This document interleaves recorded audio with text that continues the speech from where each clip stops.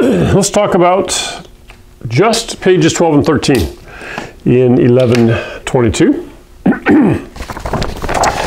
We're going to use the same formula that we had in the previous lesson, but uh, this time they're going to give us the n and the first term, and um, they're going to give us the exponent, but we don't know the ratio, okay? The number that's going to be multiplied times each term, and they want us to fill in these blanks here, okay?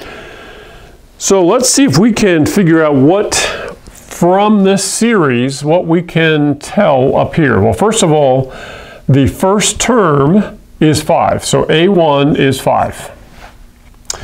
We don't know the R, so we're going to leave that blank. How many terms do we have? One, two, three, four. Okay, we have four terms.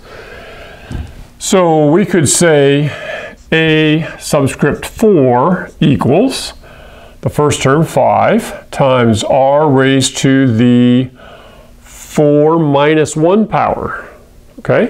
Which means this is to the third power. Now, that last term, that fourth term, actually is 40. So I can plug in the 40 in place of this fourth term equals 5 times r to the third. Now this is just a, you know, an algebra problem. If you, you know, maybe I've, it's been several months since you did algebra problems, but we're solving for this variable r, and it's to the third power, and I have 5 times that, so we're going to undo what's being done to that by dividing both sides by 5. Does that look familiar? So you get r to the third, 40 divided by 5 is 8. Now, we need to figure out what number times itself times itself times itself equals 8. So we're doing like the third root of each of these. So the third root of r to the third is r, but then you do the same thing to the other side. So the third root of 8 is 2. So now we know what to do to find these other numbers. We take the 2 times the first number, which gives us 10. And now we're going to take the second number 10 times 2 and we get 20. And then the 20 times the 2 equals to 40. Okay? Now let's set this one up. I'm not going to finish this for you, but this actually is one of your homework problems. But I want to tackle this one because they give you several like this where you have a fraction at the end. Okay? We're going to use the same formula here except we need to erase these numbers. And well, we don't need to erase that. All right. So the first one in this case, plugging in for the A1, is 4, okay, times r to the, now we have 1, 2, 3, we have 4 terms. So 4 is the n right here. There's 4 terms, 1, 2, 3, 4, so 4 minus 1. We're going to do three, four, um, r to the third power again. Then that fourth term, the n term, is the last term, which is 1 half. Okay? Are you with me? so we need to solve for r.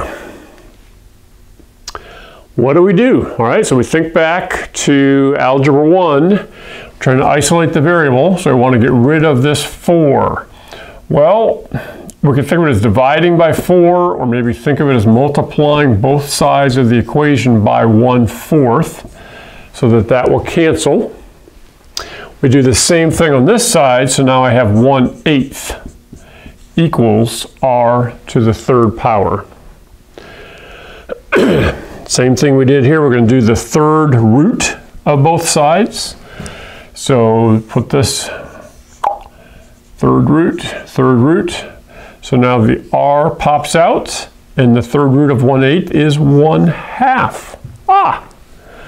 I'm going to let you finish that. But you know what to do now. You take the r value times the first term, you get the second. Take the r value times the second term, you get the third one. Okay? But all we did was we used this same formula. You just have to know what all those letters mean and what to plug in, okay? And then you have to remember how to do the third root of an exponent, or sometimes it's the fourth or fifth root, okay? And your calculator will certainly help you do that.